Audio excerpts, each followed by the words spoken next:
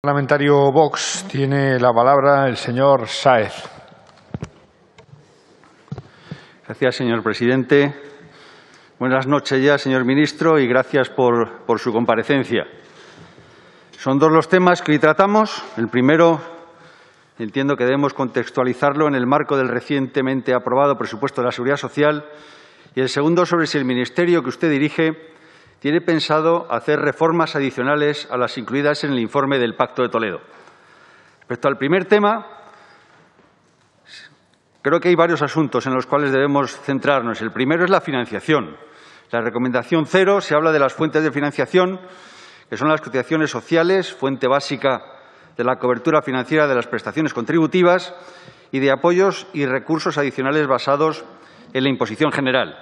Empecemos por las cotizaciones. Se presupuestaron ingresos por cotizaciones sociales por importe de 125.144 millones de euros, de los que 96.591 millones corresponden al régimen general, cifra, lo dije en el debate de presupuestos, que no es creíble Presupuesta el Gobierno una mayor recaudación en el régimen general de 1.502 millones de euros en 2021 sobre la recaudación neta según el grado de ejecución presupuestaria del año 2019 de la Seguridad Social, un 1,58% de incremento, cuando la cifra media de paro en 2019 se situó en el 14%, mientras se estima una tasa media del 17% para 2021, cuando España ha registrado una destrucción de empresas elevadísima, el número de las mismas se ha reducido en más de 85.000 empresas durante el año 2020, siendo especialmente importante la destrucción de pequeñas empresas con plantillas entre dos y cinco trabajadores. Y cuando la cifra de trabajadores ocupados al comienzo del año 2019, según datos de línea, ascendía a 19,5 millones de trabajadores, mientras que a comienzos de 2021 asciende a 19,3, cifra a la que hay que descontar los trabajadores en ERTE, que estamos hablando de más de 750.000 trabajadores al cierre del año 2020. Señor ministro, me gustaría saber si se ha contemplado en el presupuesto del año 2021 la extensión de los ERTES y la prestación por cese de actividad de los autónomos hasta el 31 de mayo. Y si no es así, ¿cuál sería el impacto neto en las cuentas de la Seguridad Social? Sigamos por los recursos adicionales. En el presupuesto se mencionan dos partidas. La primera, transferencias del Estado, que ascienden a 31.177 millones de euros, un 83% superiores a las del 2020. Y también préstamos del Estado, que ascienden a 13.830 millones de euros. No olvidemos que, a efectos de las cuentas consolidadas del Estado, hablamos de lo mismo, ya que para financiar esas transferencias y préstamos el Estado tiene que emitir deuda, dado que el déficit previsto para 2021 asciende a 7,7% del PIB, lo que estamos hablando de un porcentaje superior a 90.000 millones de euros. Tampoco olvidemos el elevadísimo nivel de deuda con el que cerraremos el año 2020, cercano probablemente al 120% del PIB. ¿Considera, señor ministro, que ese importe de 45.000 millones, transferencias más préstamos, será suficiente para cubrir el déficit previsto? Segundo asunto, solidaridad intergeneracional. Es como poco hipócrita que con una deuda per cápita cercana a 28.000 euros se mencione este punto como clave. Lo que sí me parece claro es el concepto de solidaridad intergeneracional para Partido Socialista y Unidas Podemos significa nacer con una deuda de 28.000 euros cada español.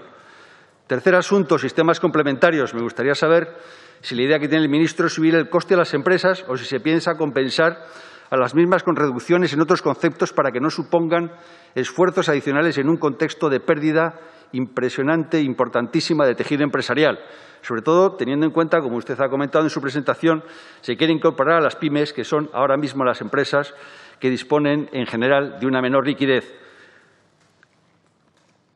Segundo tema, ampliación del periodo de cotización de 25 a 35 años y recorte de un 6% de las futuras pensiones.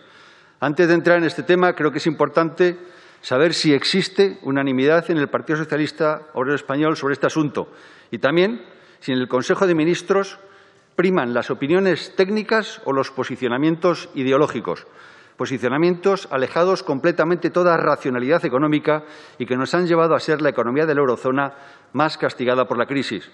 Para salir de la crisis sanitaria, social y económica necesitamos técnicos, no necesitamos ideólogos, menos aún ideólogos partidistas que no han creado un puesto de trabajo en su vida. Vayamos al debate sobre la ampliación del periodo de cotización.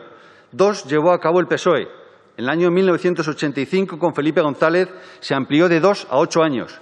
En el año 2011, con José Luis Rodríguez Zapatero, se amplió de 15 a 25. Uno llevó a cabo el Partido Popular en el año 1996, la ampliación de ocho a 15 años. Si nos centramos en la reforma del 2011 del Partido Socialista, es importante destacar cómo la misma, de acuerdo a un informe de evaluación del impacto llevado a cabo por la IREF, la pensión mensual se reducía en 22 euros al mes en 2013, reducción incremental en 13 euros adicionales en años posteriores. A propósito, la reducción de las pensiones con la reforma de 2011 era superior en las mujeres que en los hombres. Es curioso observar cómo, si observamos las reformas del 2011 y del PSOE y 2013 del Partido Popular, la primera suponía una rebaja de las pensiones de los nuevos jubilados muy superior a la segunda. La proporción era más o menos 70-30. Evidencias que, tenemos, que debemos tener en cuenta. La reforma del 2011 del PSOE redujo las pensiones. Segunda, los elevados déficits públicos de 2009 y 2010 provocaron que el PSOE congelara las pensiones a más de 6 millones de españoles en el año 2011 y recortase un 5% el sueldo de los empleados públicos. Según datos del Ministerio de Trabajo, la congelación de las pensiones de 2011 provocó la mayor pérdida de poder adquisitivo de la historia de las pensiones, equivalente al 2,9% y a 2.060 millones de euros. Tercera, la situación económica existente cuando el PSOE congeló las pensiones en 2011 era sustancialmente mejor que la actual. Son datos. Datos de finales del 2010. Déficit, 9,53% del PIB. Deuda pública, 60,5% del PIB, con 13.913 euros de deuda pública per cápita.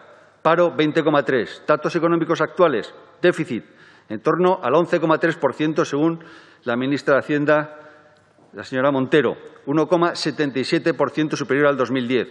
Deuda pública, estamos cerca del 120%, casi el doble de 2010. Paro, 16,4% en 2020, pero con 750.000 españoles en ERTE. Señor ministro, un Gobierno debe vivir en la realidad y no alejado de ella. Le pregunté en septiembre del año pasado si la Unión Europea nos iba a exigir la puesta en marcha de reformas que supusieran una disminución de las pensiones. Hoy, 28 de enero de 2021, completo la pregunta. ¿Tiene pensado el Gobierno llevar a cabo reformas paramétricas o estructurales en el sistema de pensiones que supongan una, una disminución de las mismas? Muchas gracias.